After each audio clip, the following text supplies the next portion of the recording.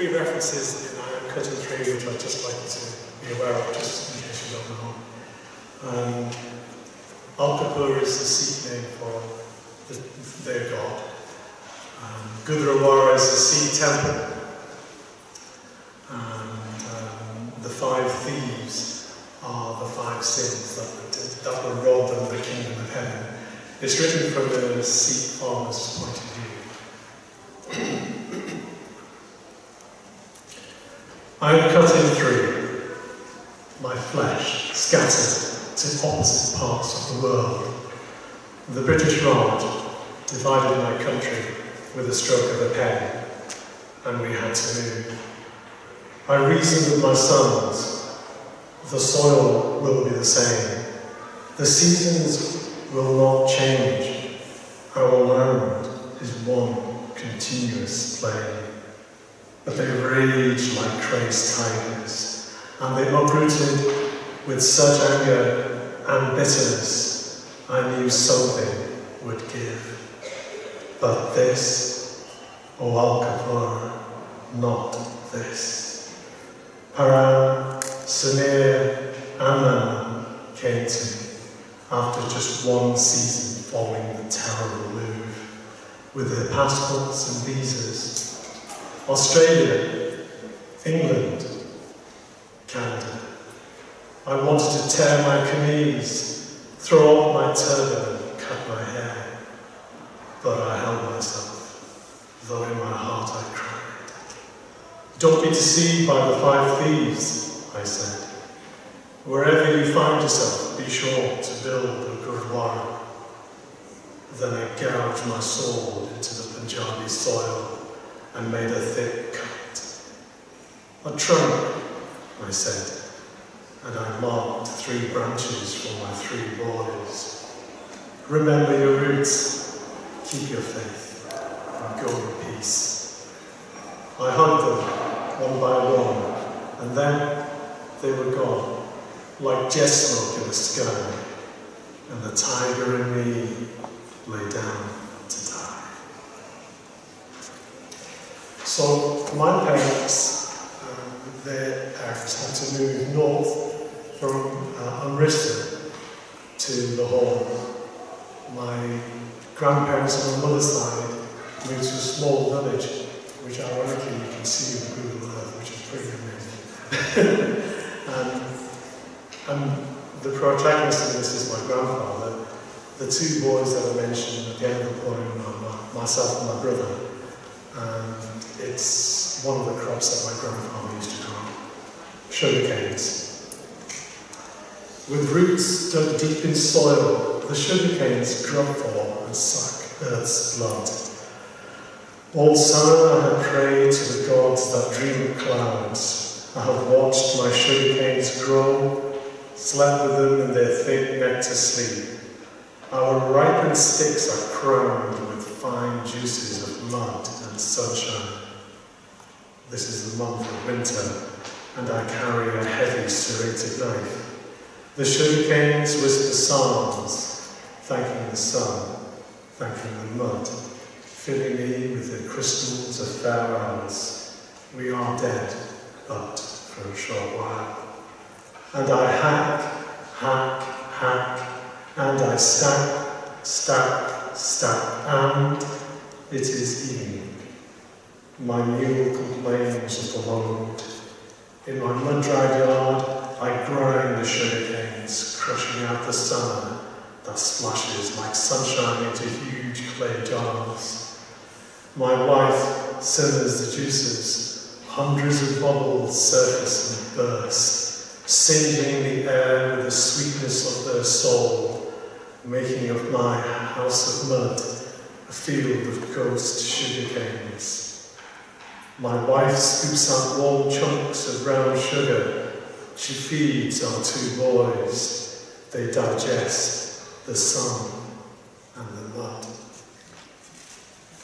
So this is the tenuous link and the big jump geographically and in time. It's seven Dunoon. Um, Dunoon uh, is a very strong SNP constituency, so I was quite surprised when somebody also does a massive Union Jack during the Diamond Jubilee and this is my reaction to down Jubilee.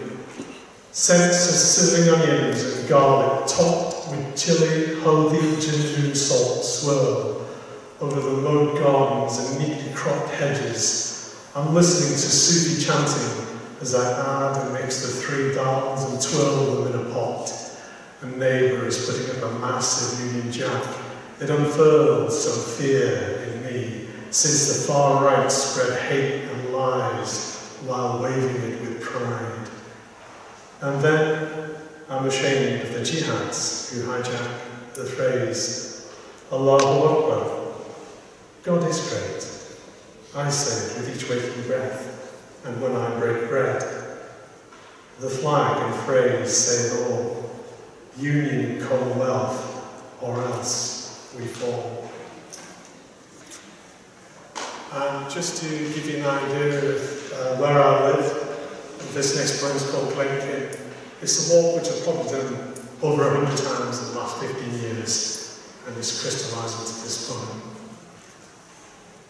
Glenkin. Those steep hills may seem ordinary, but if you look, and look, how the bronze bracken yields to the copper green conifers, how the silver in the sky shifts by a thousand subtle tones, how those elemental frequencies resonate with the elements in my blood.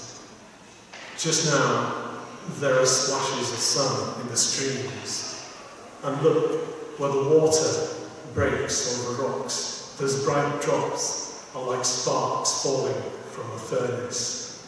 Note how the jacket slopes splice the cream of the low clouds, how small birds lift from the ground, taking into the sky some essence of the soil, how their songs and the whispered psalms of the trees, and my breathing, our breathing, our warm breath blends with the skins of the sun.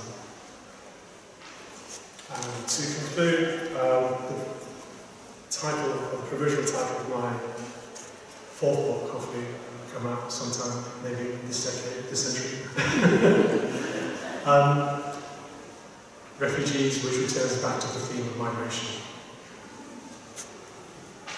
When the fisherman casts his line out to sea, a splinter of light loops along the brief curve, and the slack line becomes an umbilical cord that connects it to the vast mass of the sea's dark, to the carefree movement of shoals, and to some primeval instinct of survival. His son along the beach lifts a kite into the deep blue. The boy gauges the weight of the wind with his fingers. He is envious of birds, their freedom of flight and how mighty birds cross borders without visas, papers, or fuss. His kite is now a white dot floating alongside the evening star. He releases the string and watches the kite vanish in the twilight. And he imagines a girl finding it caught in a tree, hanging limp like an idea of hope freedom, peace, a life without explosions, gunfire, screaming and crying. He longs for an ordinary childhood. His father winds in a silvery fish that twists and splashes in shining arcs. Slowly, the sky is flayed by the quiet blades of the stars. The man whispers grace over the savoury scents of smoked fish. As they eat the lean meat, he points out the constellation of stars that mark the edge of the galaxy. Beyond that, he says, there are many, many galaxies and many, many gods, each seeking and asking and asking. Thank you.